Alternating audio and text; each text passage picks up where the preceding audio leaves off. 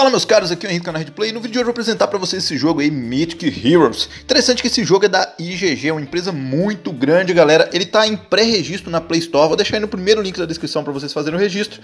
E também dá para vocês fazerem o download, eu baixei pelo APK Puri, né? Vou deixar como segundo link aí o link do APK Puri. Esse daqui, galera, é o jeitão do farm. Eles chamam aqui de Astrolabe, né? Não sei exatamente o que, que seria isso, né? Mas é esse carinha aí parecendo um relógio aí super futurístico. Basicamente, galera, pela historinha aqui, esse Astrolabe vai girando e gerando para vocês aí lucros que vão sendo acumulados aqui embaixo. Interessante que ao vocês passarem de nível, vocês ganham pontos para upar esse Astrolabe. Então não tá é, extremamente ligado de você avançar nível e ganhar mais farm por causa disso. Na realidade, é um pouco diferente, né? Em suma é a mesma coisa, né? Você avança libera missões, na verdade completa achievements, né, que vão te dar esses pontos para poder upar esse cubo. E aumentando o nível desse cubo, vocês conseguem aí aumentar os atributos do farm, né, no caso dos seus heróis e também do farm, né? Como vocês podem ver, ó, isso aqui é tudo atributo de herói que eu aumentei a partir do Astrolabe e aqui é atributo do Astrolabe próprio que eu aumentei, né? Como vocês podem ver aqui, ele aumenta o gold, experiência, entre outras coisas, né, galera? Interessante que aqui dá para dropar qualquer coisa que vocês imaginarem, né? Todos os pontos é, de qualquer tipo de ponto ponto que dá para ganhar no jogo, seja ponto de arena, seja ponto do Fanteon, que é um eventozinho que tem de dois em dois dias aqui pra gente. Dá pra dropar, dropar tudo aqui e depois gastar lá na loja, né? Então é bem interessante o farm diário ali, dropa tudo. Fora isso, tem essas engrenagens que de fato fazem rodar aqui o, o Astrolobo também, né? Além dessa rodada que dá aí normalmente, que você ganha aqui o farm AFK, você também tem essas engrenagens. Interessante que essas engrenagens ela tem um limite de ganho de mil, e esses mil demora bastante tempo para você ganhar, né? Então talvez se você ficar dois, três dias fora, pode ser que ainda esteja juntando essas engrenagens que servem justamente para rodar. Ó, nota, tá 167, se eu clicar aqui ele gasta uma engrenagem, roda mais uma vez e me dá um prêmiozinho. Mas de qualquer forma, a parte aqui de captura que ele roda automaticamente, né, no Farm AFK, ele tem um limite. Inicialmente é de 12 horas, depois que você vai upando aí o cubozinho que eu mostrei para vocês, você consegue aumentar esse limite. Eu, por exemplo, aí tenho 4 horas a mais, né? Então seria aí 16 horas de farm AFK que eu tenho. Aqui no meio dessa giringonça aqui que tem um monte de coisa, ainda tem aqui o core que dá para você rodar uma vez por dia e ganhar um prêmio bem interessante. Os prêmios aqui são muito bons mesmo. Detalhe aqui que dá para você ganhar 6 desses pontos que serve para você upar o cubo, que vai te dar mais farm. Por sinal, galera, esse itemzinho aqui tem como comprar no mercado é, por algumas moedas lá. Compensa você comprar ele. É, toda vez que você vê esse item, compensa você pegar, porque ele é um item muito interessante mesmo. Então, como vocês podem ver, a gente tem aqui a parte de leaderboard, né? A parte de summonar, que é genericona mesmo, igual praticamente todos os jogos. Interessante aqui que o jogo está bem no início ainda, ele não tem uma wishlist, né? Uma lista de desejos, mas ele tem esse modo de summon aqui que você pode selecionar o herói que você quer, né? Notem, galera, ele já vem com um herói predefinido, né? Ele vai alterando aqui de tempos em tempos, como se fosse a season desse tipo de summon aqui. Então esse herói aqui é predefinido, esse também, note que é um herói UR, eu já vou explicar um pouco mais sobre isso aí logo à frente aqui. E esse herói aqui é um herói que você pode selecionar, então isso é muito bom para você focar num determinado herói. Como eu disse, tem poucos heróis no momento, não justificaria uma lista de desejos. Fora isso aqui a gente tem o summon normal, que é geral, e além disso aqui um summon por facção, né? Tem como você trocar aqui, mas você pode esperar passar o dia que ele vai alternando aqui entre as facções. Aqui na campanha, galera, são os modos de jogo. No modo campanha, ele tem um modo principal, né, que seria bem simples mesmo, você faz uma batalha e consegue avançar, e tem o modo Elite, o modo Elite já inicia logo de cara precisando de fazer duas batalhas para vocês conseguirem avançar, duas batalhas aos moldes do AFK Arena. Você faz a primeira, aqueles heróis que você utilizou na primeira batalha, vocês não conseguem utilizar na segunda, como vocês podem ver aqui, galera, ó, são duas batalhinhas, ele já indica aqui, ó, no caso que eu estou utilizando esse time aqui como primeiro time, e esse time aqui como segundo time, galera. Então só para vocês terem uma ideia aqui, o modo principal é uma batalha, eu não sei se perpetua sempre uma batalha no modo principal, mas pode ser que depois passa a ter duas batalhas também no estilo do AFK Arena, mas pelo estilo ali, eu acredito que não. Eu acredito que o modo principal vai se manter com uma batalha e o modo Elite ali que vai tendo mais de uma batalha.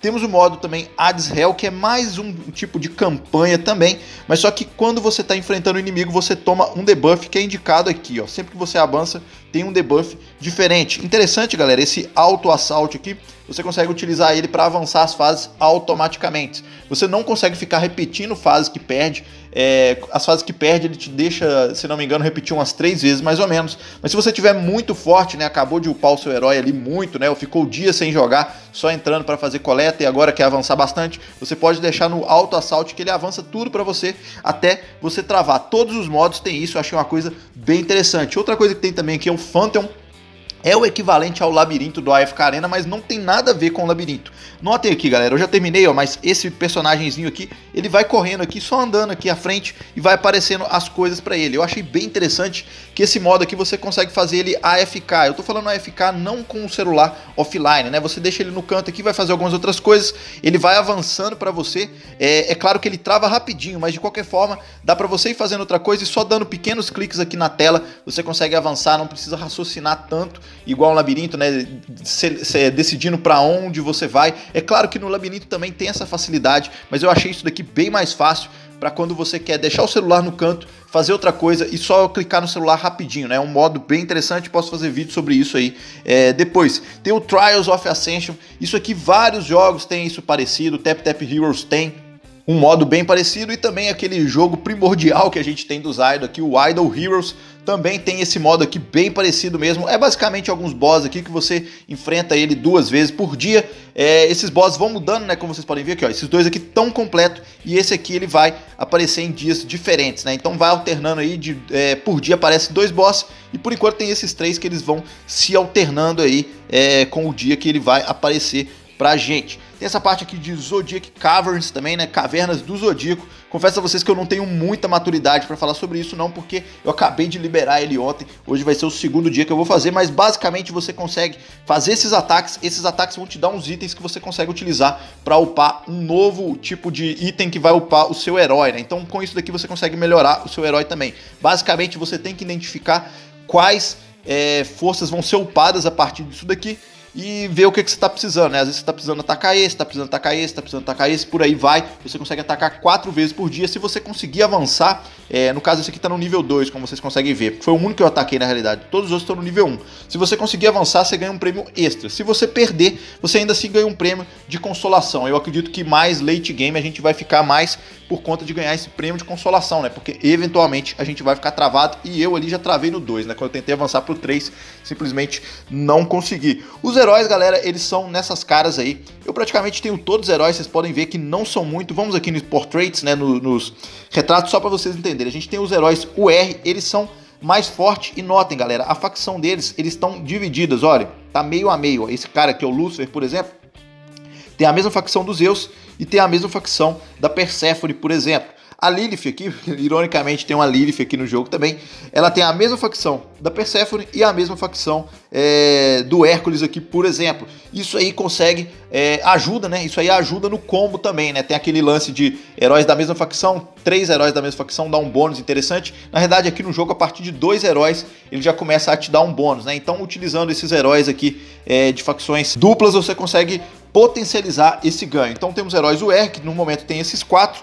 É... Calma aí que eu me perdi um pouco. Então temos heróis UR, que tem esses quatro. O heróis SSR, que seria um tier abaixo, mas são heróis muito bons também. A gente tem 20 no momento. E heróis SR já são utilizados aí como food mesmo. Já vou mostrar um pouquinho mais à frente. Tem um outro tier ainda um pouco mais abaixo, mas eles já são automaticamente destruídos. Nem aparece aqui nas fotos, mas quando summonar, vocês eventualmente vão ganhar esses heróis que eu estou falando para vocês.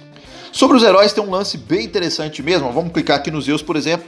É, na realidade tem que ir aqui no meu herói. Vamos clicar aqui nos Zeus, por exemplo, que eu estava clicando mesmo. Você consegue acender esse herói. Todo o grau de ascensão é aumentado utilizando o mesmo herói. Com apenas um exemplar do herói, você consegue aumentar o grau de ascensão e ir aí melhorando o seu herói com isso. Isso aí vai liberar mais nível. É o grau de ascensão normal que tem em todos os jogos, né? Você acende para poder aumentar os níveis. E tem essa parte aqui também de enhance, né? Que se fosse, fosse as melhorias. Você utiliza aqueles heróis de food para poder dar mais uma melhoria nos seus heróis. Esse aqui no caso está mais zero, mas vocês podem ver ó, que meus heróis principais, ó, esse aqui está mais 10, mais 7, mais 6, mais 7, mais 5, que são os 5 heróis que eu estou usando aí prioritariamente. E é justamente naquela parte de enhance que você aumenta esse maisinho do herói. Outra coisa bem interessante que ele já tem aqui, ó, quem eu sei que a galera que conhece do AFK Arena, como se fosse um cristal ressonante aí logo de início. Ele pega os cinco melhores heróis e já transfere a força dele, né, na realidade o nível dele para todos os outros heróis. Notem, galera, ó, o menor nível dos meus cinco primeiros heróis é 120 e por isso todos os meus heróis têm nível 120. Uma coisa bem interessante é que se você quiser trocar os heróis que estão aqui em cima, é só você começar a upar os heróis de baixo. Esses cinco heróis aqui foram os heróis que eu até o momento, mas se eu quiser upar aqui, por exemplo, o Lúcifer, nada me impede. É só conseguir o recurso, eu começo a upar ele, ele vai passar a ser um herói lá de cima, né? Então não, ele deixa a gente bem livre mesmo. Você pode upar livremente. Ah, eu identifiquei que esse herói aqui tem que ficar com um nível acima dos outros porque vai ser bom para mim por algum motivo. Então eu posso simplesmente clicar nele e começar a upar. Eu achei bem interessante essa troca de heróis de referência porque ela é muito fácil de se fazer. Outra coisa que tem bem interessante aqui seriam os equipamentos, né? Esses sets de equipamentos, notem que eu estou utilizando um set completo e por isso ele me dá vários buffs, né? No caso aqui aumenta meu dano, né? Desses todos os tipos aqui e por fechar o set completo desse equipamento eu ainda ganho esse, esse bônus extra aqui embaixo. Fora isso tem a, a joiazinha aqui no meio que a gente consegue equipar também, que dá aqui uns bônus bem interessantes também. A gente pode trocar isso livremente, aqui, ó, trocando Quick é, Equipe, você consegue aqui trocar o set dos seus equipamentos. É claro que ele respeita se você tem ou não aqueles equipamentos. Acaba que eu tenho bastante sets livres aqui. Deixa eu voltar para o set inicial, que eu nem sei mais qual que era. Acho que era esse aqui, né? Isso mesmo, então voltei aqui para o set inicial. Então ele tem esses sets de equipamentos. Eu aconselho você sempre a ler o estilo do herói para você conseguir combar com os equipamentos. Mas é claro que futuramente aí a gente certamente vai precisar ter, é, fazer uma troca, né? Ter uma troca constante desses equipamentos para poder conseguir forçar bem o avanço mesmo, né? Então, galera, seguindo aqui, a gente tem a bagzinha, que não tem nada para falar sobre isso daqui, é, e temos também a, o, o, journal aqui, né? O jornal, isso aqui seria basicamente é, os achievements, a parte de missões diárias, né? Como vocês podem ver aqui, tem as missões diárias, tem as missões semanais de praxe, Interessante que você vai completando as missões, eles vão te dando peças desse quebra-cabeça aqui, e quando você completa esses quebra-cabeça, você consegue captar uns itens que estão aqui em cima. Infelizmente eu já terminei as missões diárias e semanais que tem hoje disponíveis, não consigo mostrar para vocês, mas é basicamente isso. Você completa, você ganha aqui peças desse quebra-cabeça, e aqui em cima tem vários prêmios interessantes, você consegue captar esses prêmios assim que você termina o quebra-cabeça. E a parte de achievements é aquela parte de achievements normal, mas só que ele separa, né? Por heróis, é, aventura, é, miscelâneos, né? Que seria outros, entre aspas. É, missões do Astrolobe que vocês completaram e também do Phantom aqui, que é aquele modo que eu falei com vocês, que é, é, o equivalente ao labirinto, mas que não tem nada a ver com o labirinto do AFK Arena. Os prêmios aqui são bem interessantes, como sempre. Por aqui você consegue, na, na parte de Adventure, é, pegar aqueles itens que eu mostrei para vocês, ó, esses itens aqui, ó.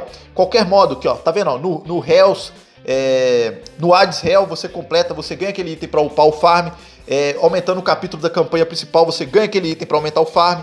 Tem VIP grátis aqui, tem um monte de coisa. Então é muito importante vocês avançarem ao máximo de todos os modos de jogo para poder conseguir esse item diferencial para você upar o seu Astrolobe, né, que seria aí o ganho AFK. É muito importante você ter o máximo de ganho AFK possível.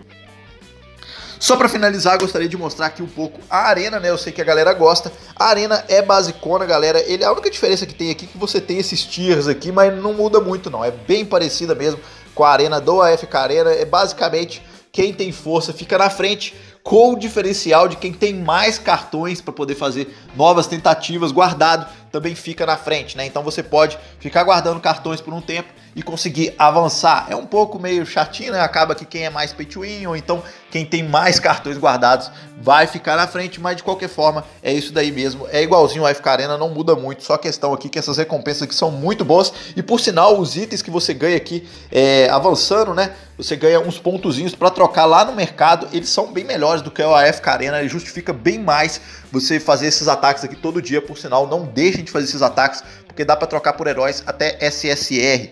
É, outra coisa bem interessante que eu não mostrei para vocês aqui são a guild, né, galera? A guild aqui já tá bem aprimorada, ela não é cruazinha, não. Tem a parte do lobby, que é a parte principal ali, tem essa parte de Blade Wrath aqui, que é um boss da guild, ele vai alterando aí todos os dias. Temos aqui o Research Center, vocês conseguem é, alguns itens aqui que já vou mostrar para vocês como consegue e consegue aumentar essa capacidade aqui da sua guild. Então é muito importante você fazer parte de uma guild que você conhece, que você sabe que você vai ficar por lá por muito tempo para você não desperdiçar os itens que vocês estão jogando aqui nessa parte. Eu, por exemplo, não estou gastando muito porque essa guild aqui eu não conheço ninguém, eu estou esperando surgir alguma guild BR ou então alguma guild gringa mais organizada para eu tentar fazer parte. E a gente tem aqui a parte de wishing também, basicamente você dá só um wish aqui, joga uma moedinha na fonte dos desejos, você tem uma grátis por dia, mas dá para gastar um pouco de gema aqui e fazer umas a mais. Esses itens aqui são necessários para a guild em si.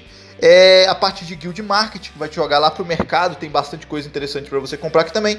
E a parte de coliseu, que é como se fosse uma guerra de guild, né? Basicamente você dá um joy, de vez em quando tem essa guerra rolando, você consegue fazer aí três ataques por dia. Mas então é isso, galera. Eu, eu acredito que eu devo ter deixado alguma coisa passar aqui, mas de qualquer forma, é, eu só queria apresentar para vocês um jogo, um jogo bem interessante. Os links estão na descrição. Espero que vocês tenham gostado do vídeo. Como sempre, aí, qualquer crítica, dúvida ou sugestão, pode deixar aí embaixo. Valeu aí, até a próxima e tchau!